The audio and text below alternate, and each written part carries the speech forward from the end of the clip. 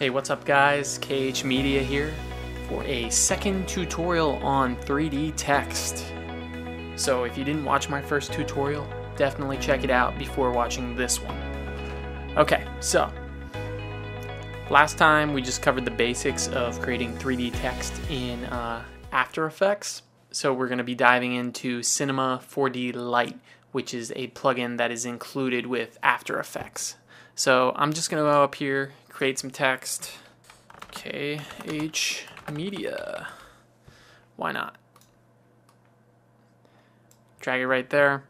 Um, we're going to make a 3D layer and we're going to add a light. And remember the shortcut from my first tutorial is Control Shift Alt L and we're gonna make it a spotlight and what I can show you in here is that you can change the intensity of the light I'm gonna keep mine right around 100 and there's different kinds of lights. So I'm gonna create my spotlight first. Control shift L again show you another kind of light. It's a um, point light. And okay. And I'm actually going to just uh, I think I'm going to rotate this a little bit just so that we can get a little bit more of the 3D. Oh, I forgot to extrude it. So that, that's probably why I'm, you know, you can't really see the 3D because I didn't extrude it really. Um, let's do that quick. Extrusion depth. There we go. Now you can see what I'm talking about. Um, convex. Okay, that, that, yeah, so we can move it around. It's really like kind of just a lamp you would have in your living room. Wherever you move it, you can see, move it over here, then the lighting's on this angle, this side of the letters. Whereas if I move it in front, it's on more of the frontal end and so forth. You can play around with that. It's pretty cool. Let me turn on my spotlight again. Boom. Okay. And then now what I'm going to show you is how to add a camera. And you go up to Layer, New, Camera, which again the shortcut is Control Alt Shift C. Okay, we're going to add a oh, what the heck? Let's add a 35 millimeter camera. Click OK. And now we're going to go to camera 1 to get our camera 1 view on here and we're going to go to two views horizontal, zoom out on this. This right here, the pinkish line, pinkish red line is our camera. So if we move the camera in, then it goes closer to the words. If we move it out and so forth. You can move that around however you wish. Now, next thing I'm going to show you is how to bring this, export this file as a Cinema 4D file and then we're going to open it in Cinema 4D through After Effects. Sounds really simple, right? It's not that bad. Okay, so we could bring our camera in, but just for the sake of showing you Cinema 4D, I'm going to delete it.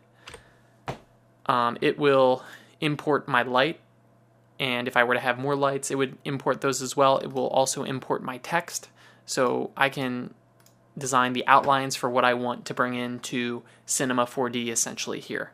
Okay, so what I'm going to do to export this to Cinema 4D is I'm going to go up here to File, I'm going to go to Export and Maxon Cinema 4D Exporter, and we're going to click the second option, Preserve Editable Text, maintain the ability to change font and text content, because we want the ability to edit this in Cinema 4D if we want to change it. Okay, click OK and then we can choose where we want to save it. Okay, so I skipped ahead here, and what you have to do after you save it as a Cinema 4D file is you actually have to import it here. So there's my Cinema 4D file that I imported. You can see the icon for Cinema 4D right there. That's what you have to do. So you're going to click on it, and then you're going to go up to Edit, and you're going to go down to Edit Original and that is what's going to open Cinema 4D for you. So there's our text, our 3D. We have our light back here, and we I drop this down up here so we can see there's the spotlight. To move around, you're going to hold down Alt, and then click with your mouse and drag, and you can pivot your view here of your object. It's really cool. So you're in like in a 3D atmosphere.